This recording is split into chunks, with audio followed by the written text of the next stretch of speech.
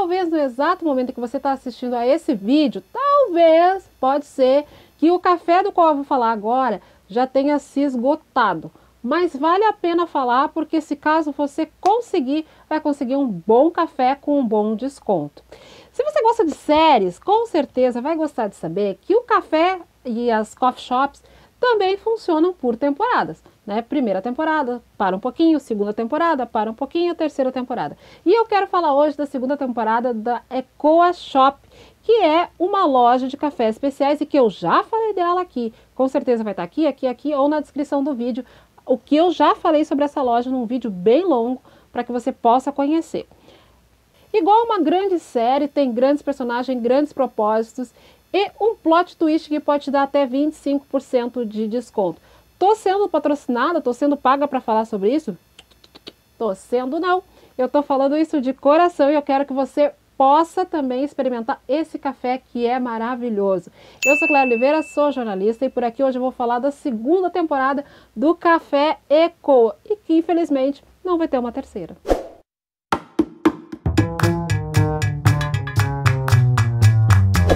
Sei que é chato, galera. Aquela história assim, ai, deixa teu like, faz um comentário, compartilha. Eu sei que é chato, mas pra gente que tem canal pequeno, se você fizer isso, vai estar ajudando muito. Bom, na primeira temporada do Café Ecoa, eu falei dessa loja que surgiu em fevereiro de 2021, ou seja, uma loja bebê, gente, uma loja bem bebezinho mesmo. E essa primeira temporada eu falei também quais que eram os propósitos da loja. E eu acho que vale a pena repetir mesmo que você já tenha visto o outro vídeo, que é uma loja que tem um compromisso socioambiental, ou seja, se preocupa com a questão social e também com toda a questão do meio ambiente. Então, tudo que eles fazem, desde, do, desde de pegar lá da pequena produtora até todo o caminho que esse café faz para chegar na sua xícara, é pensado de forma sustentável e também de uma forma que possa beneficiar o maior número de pessoas dentro da sociedade. Eles valorizam muito o trabalho das mulheres. Isso porque todo o café é produzido exclusivamente por mulheres e recebem nome de mulheres que foram pioneiras em alguma coisa. Né? Eles colocam essa homenagem, inclusive, para tirar até a invisibilidade de algumas mulheres que ao longo da história foram sendo esquecidas. Além disso, como eu falei, tem a questão ambiental, da qual eles procuram reduzir toda a questão do carbono, né? Desde a hora que vai fazer até a entrega na sua casa, tem toda essa questão da redução de carbono. É também uma coffee shop antirracista, porque 10% do que é gerado de lucro é doado para uma entidade que combate o racismo. E também tem toda a questão da diversidade de LGBTQIA+, que é utilizado uma linguagem neutra e também que é bastante valorizado e bastante respeitado, isso pela ECOA Shop. Na segunda temporada, a gente tem algumas personagens que eu tive que ir lá buscar, pesquisar, porque sinceramente eu não sabia que elas existiam. Por exemplo, a Maria Odília Teixeira eu não sabia que ela tinha sido a primeira médica negra no Brasil e que foi também a primeira professora de medicina numa universidade aqui no Brasil. Isso lá na Bahia. Tá? Para ela foi dado um café super especial que é lá da Chapada Diamantina, já não precisa dizer mais nada, né? Da Chapada Diamantina e que tem as inusitadas notas de pimenta preta, framboesa, chocolate e suco de laranja. A Raquel de Queiroz, bom, quem é que não passou a infância ouvindo falar de Raquel de Queiroz, sendo que lê na escola e tal? Pois é, ela também foi homenageada pela Econ nessa segunda edição e recebeu um café do sul de Minas que tem nota de chocolate amargo, amêndoas e caramelo. Eu também não sabia quem era Antonieta de Barros, e daí eu descobri que ela foi a primeira deputada negra no Brasil. Isso lá em Santa Catarina, tá? Ela foi a primeira deputada negra no Brasil e para ela foi destinado um café lá da Serra do Caparaó, que tem as notas de jabuticaba, caju, melaço e noz moscada. Você sabe quem foi a Alzira Soriano? Pois é, eu não sabia. Parabéns se você sabe, tá? Porque a Alzira Soriano foi a primeira mulher prefeita no Brasil.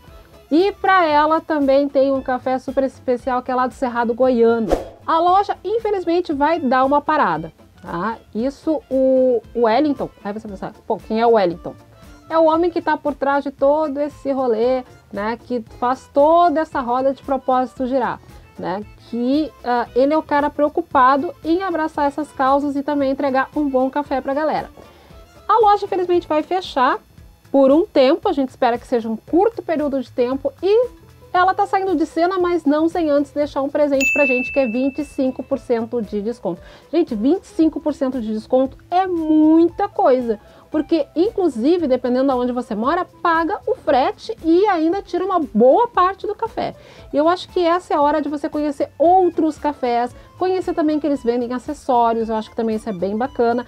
E pode ser, gente, que quando você assistir esse vídeo já não tenha mais café.